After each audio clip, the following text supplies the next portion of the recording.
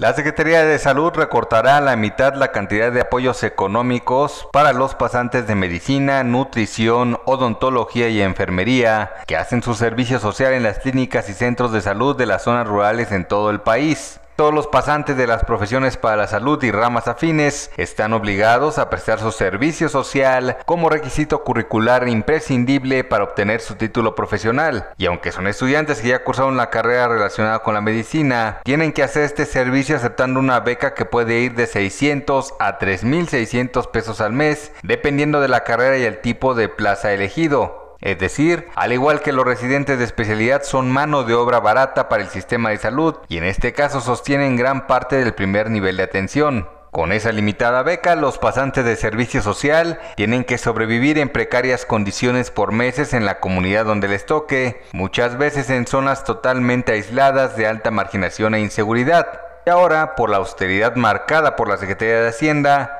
la Subsecretaría de Integración y Desarrollo de la Secretaría de Salud, encabezada por ASA Cristina Laurel, está anunciando a los gobiernos estatales un fuerte recorte a las becas para dichos pasantes. Y lo más increíble es que este recorte presupuestal para becas de pasantes se está decidiendo no porque no existan los recursos, ya que la partida para este fin ya había quedado reservada dentro del presupuesto de egresos de la Federación aprobado para 2019. Con información de Maribel Ramírez Coronel, El Economista Televisión.